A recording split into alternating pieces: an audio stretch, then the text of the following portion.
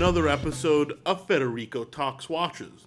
It's been exactly one month since my last Q&A video.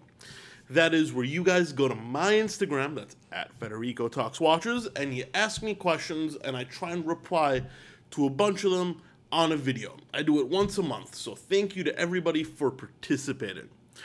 Now, before we get started, a couple little announcements. The first one is um, content might be a little slow for the next week. Um, you know, I am taking a short little break. I am going to New York uh, tomorrow to visit some family and just hang out a little bit, celebrate my uh, my birthday, and of course, maybe go take a look at some uh, watches. A lot of my fellow dealers are in New York, so I'm to go take a look at what they have as well. And on top of that, I also want to let you guys know I got a ton of new stock at delraywatch.com. A new Seamaster ceramic, IWC perpetual calendar Portuguese, a pre-ceramic no date Rolex Submariner, a Jaeger Master Ultra Thin, a Roger Dubuis limited edition watch, and a bunch more. That's at Delray Watch Supply, delraywatch.com. Go check it out link in the description below. And we do more than just sell watches.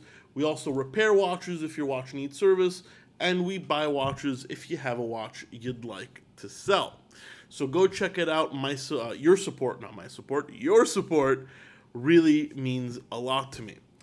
And right before we get to the questions, what am I wearing today? I'm wearing the IWC Vintage Collection Engineer.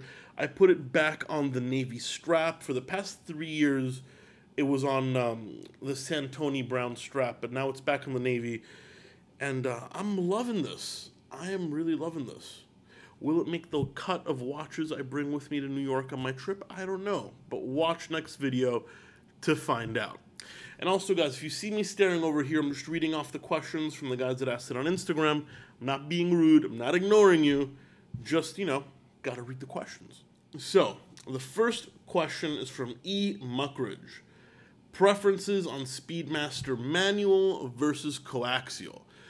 Let me start off by saying the coaxial Speedmasters are awesome. New in-house movements, automatic, of course, coaxial escapement.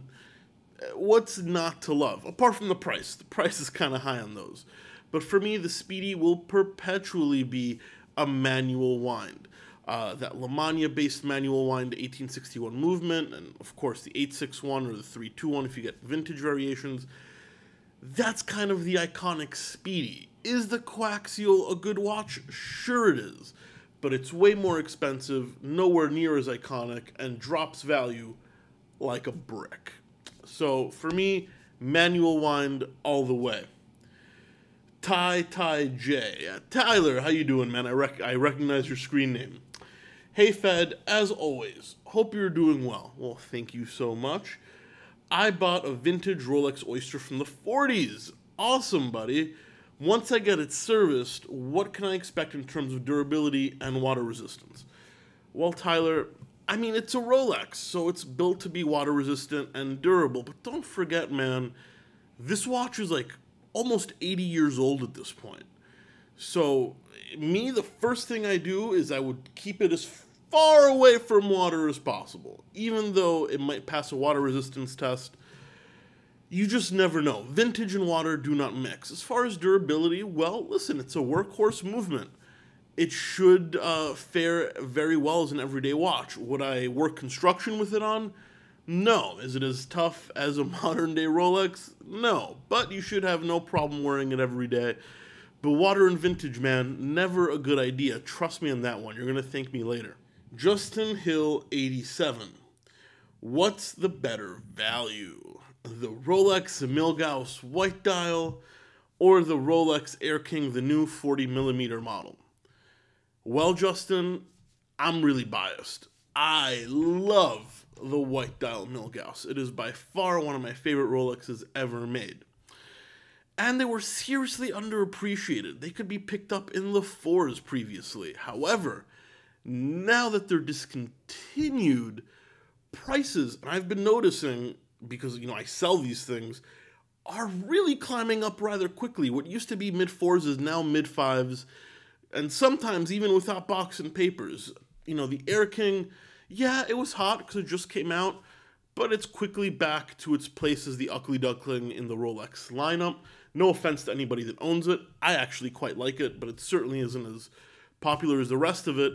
So you can pick up a previously unloved white dial Milgauss that is now discontinued and climbing in price.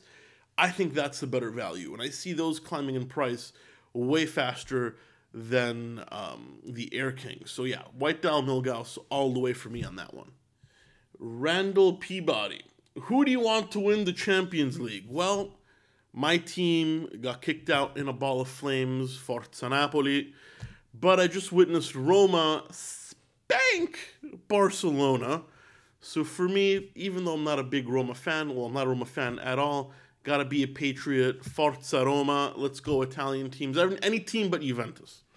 JTHO8774. How do you get involved in watches initially? Gotta be honest, man. Um, I didn't get involved as a job in watches because I liked watches. I actually started with a job in watches that made me fall in love with watches. Um, I just kind of was looking for a part time job and I walked into Cartier Fifth Avenue one day. Didn't know anything about watches at all, almost. I mean, my brother was kind of into them, but didn't really know anything about watches.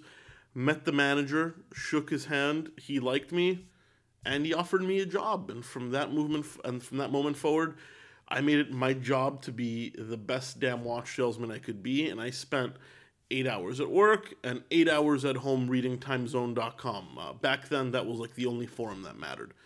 And that is uh, pretty much how I got involved with watches. Just 841. Who are your favorite or who do you think is the best independent watchmaker? Well, I think the best at least the general consensus is probably Philippe Dufour um, is the best. But my personal favorites are FP Journe and Kari Voutilainen. And not only are their pieces actually attainable, um, but aesthetically they are fantastic. Um, Journe particularly is my number one favorite. Devo watches. What do you think of the Hublot Big Bang smartwatch uh, that will be worn by referees? For real. Um, I hope it burns in hell. Not a huge fan of Hublot smartwatches. Not a huge fan of smartwatches in general. The price of this uh, completely ridiculous. Of course, though, Hublot making a great marketing play, wearing it during the World Cup. What can we say? Smart job. Anyway, guys, that was my uh, Q&A for this month. If you guys want to participate Go follow at Federico Talks Watches on Instagram, and you can answer or ask questions there when I put up the Q&A picture once a month. And of course, please like this video if you enjoyed it. It really does help. And of course, check out Delray Watch Supply. Guys, thank you so much for sticking with me for another episode of Federico Talks Watches, and I hope to catch you in the next one. Take care.